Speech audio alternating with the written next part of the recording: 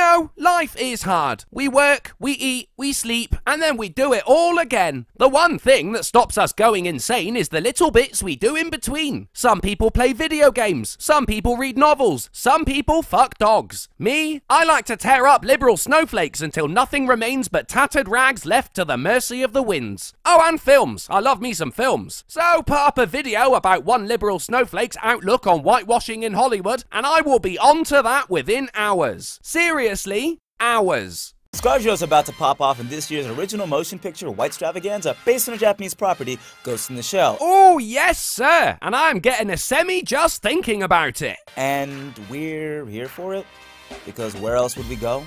Hollywood, if you want people to stop complaining about this, maybe stop doing it?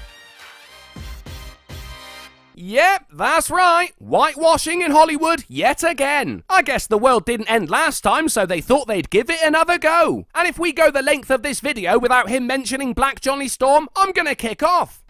Ugh, Cuckflake, why do you make everything about race? Yeah, that's a joke, obviously, but why do you make everything about race, Cuckflake? Most of the videos you do for Dot Mic are about race. Why is that? Don't you have any other use? First of all, it's Sir Benjamin Cuckflakington III. If you're going to insult me, use my whole name. The third, yeah? Not just a cuck, but a cuck like his father before him, and his father before him. I guess playing the oppression card really does get you laid.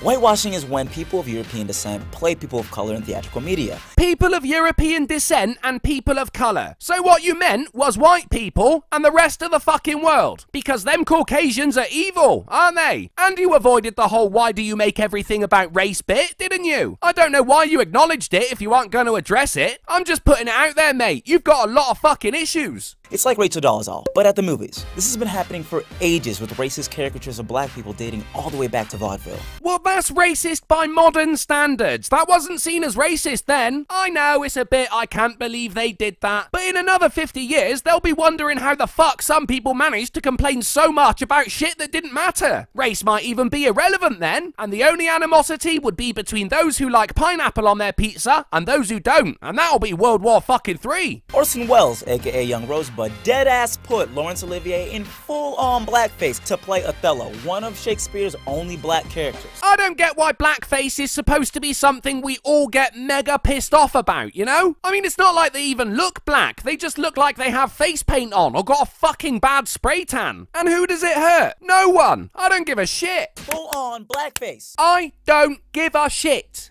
Could you even imagine Sidney Poitier's Twitter fingers if Twitter had existed back then? Well, you know, Twitter kinda did exist back then. It was called talking. Look, it wasn't a problem at the time. You weren't even alive then, you twat, so fuck off with your retro issues.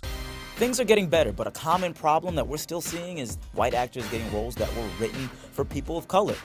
But how is it a problem? Oh fuck, we've got a headline. CBS drama Mission Control, never fucking heard of it, casts white actors in roles written for actors of color. Fucking actors of color? Fuck me. Oh, and there's a little bit more. This isn't good. Well, it isn't bad either. What's the fucking problem? If you're gonna argue authenticity, I'm down with that. I'm totally with you. But anything else, you can fuck off. CBS?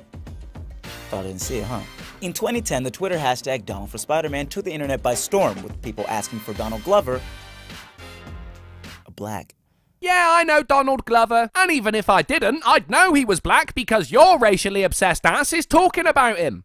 To play Spider-Man, and I was definitely down. But as he says in his stand-up special, half the world was like, Donald for Spider-Man. We're only gonna watch the next Spider-Man of Donald Glover's playing Peter Parker. And the other half was like, he's black, kill him! Oh, fuck, he's got a comedy special. I'm well on that. I love Donald Glover. He cracks me up and his music is awesome. But you have to remember, that was a comedy special. He told a fucking joke. I'd be down for him being Spider-Man, just not Peter Parker, because I think we struck gold with the one we currently have, and Miles Morales is our black Spider-Man. And check this out, is voiced by Donald Glover. Almost a perfect fit, wouldn't you think? So I think you can go chow down on a hairy one. And boy, things have not changed. Angry people are super vocal when a black person plays a fictional character. And when a white lady plays a robot with a human brain built in a fictional Japanese city. That was the premise of this video, wasn't it? Remember 2015's trash-ass Fantastic Four reboot? Oh yeah, he's gonna talk about Black Johnny Storm. Fucking shit film though. Fuck. People were tripping when they found out Michael B. Jordan was going to play Johnny Storm, a fictional white man who catches on fire. Yeah, because of the authenticity. Fans are quite fucking fierce when it comes to that shit. If you change something for the sake of it, they get pissed off. What up, white people? You own fire now? Nah. Fucking hell, this level of humor is gonna kill me.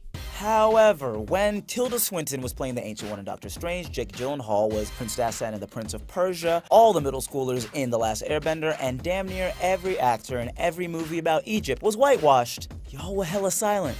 And where the fuck were you when Johnny Storm was cast as a black guy? Don't give me that shit. You either care about race when it comes to established characters or you don't. You don't get to pick certain bits of it to be offended by. Pick a fucking side, you cunt. So where y'all at? I'll wait. TikTok. Oh, fine. The ticking is reminding me how much of my fucking life I'm wasting on your retarded ass. This article was written by Rob Bricken, senior editor of IO9, according to his Twitter page, which also shows he's white. Are you chowing down on that hairy one yet? People are quick to defend the source material, and believe me, I get it. I love comics, anime, manga, video games, just like any other person. Do you, though? Or are you just saying that so it appears as though you're a fan of those genres and therefore care about the movie adaptation staying true to the original? Because you just defended a black Johnny Storm and a black Peter Parker who are white in the source material, while simultaneously shitting on anyone white playing someone who isn't white in the source material. Can you please give me lessons on how to be as self aware as you are? But let's remember, the source material is fictional. That means it's happening in our imagination.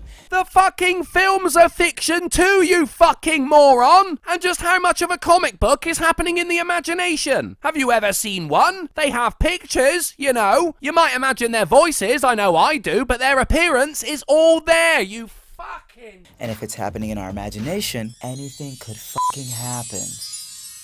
Wow. Yeah! Wow! I'll tell you one thing that won't happen. You making a fuck bit of sense. First up, easy one. Idris Elba, he should play James Bond. No, James Bond is white. I'm not denying the man is capable. He's a fucking strong actor, but James Bond is white. It's in the books. Why is it all right for a black person to take a white role, but it's whitewashing the other way round? He's black. Extremely black. Is it just water? And there was me hoping it was bleach. Taraji P. Henson. She could play Cruella de Vil, the President of the United States. Hell, I already cast her to play me in my own biopic. She's got range. She does, but I don't know if she's up to playing someone with a mental handicap. If she pulls it off, though, that's an Oscar right there. Viola Davis has had a wonderful career so far, but I want to see her play a cop. She already has a show called How to Get Away with Murder. You know, because cops get away. Ah, cops get away with murder. Yeah, yeah. Please don't come back. Mahershala Ali. Honestly, he can do whatever the fuck he wants. There's some things that it's hard to be in this world. He's black, he's Muslim, and he has an Oscar. Black and Muslim, and he has an Oscar. But I thought they were oppressed. Katt Williams, Elephant in the Room. I know everyone's thinking it. He should play Jesus of Nazareth. Good to know we're still talking fiction. Jesus would have been Middle Eastern, but whatever. It's fine when black people do it, apparently. Pimpin', pimpin', pimpin'. It's wild now. That was. Ah, fuck, that was quite good. Again. You're the sort of person who uses the clapping emoji all the fucking time, aren't you? Hollywood. Representation matters, and maybe, just maybe, we should be rethinking the whitewashing in our own imaginations. If racial representation matters, why can black people take the roles of other races? You aren't making any sense. There's no use getting all preachy when you keep fucking contradicting yourself. Unless you are of the mind that it's one rule for some and one rule for others, in which case you have lost all battles, both past and future, about how fucking oppressed you are. That would be a right that another group of people doesn't have. Do you know? I take back what I said earlier. In 50 years' time, people will actually be wondering how those who were supposedly against racial discrimination did more to add to the problem than to solve it. Thanks for watching, guys. Don't forget you can become a patron to support this channel. Every little helps, even if it's just a dollar. And remember, if Hollywood is racist, Bollywood are fucking Nazis.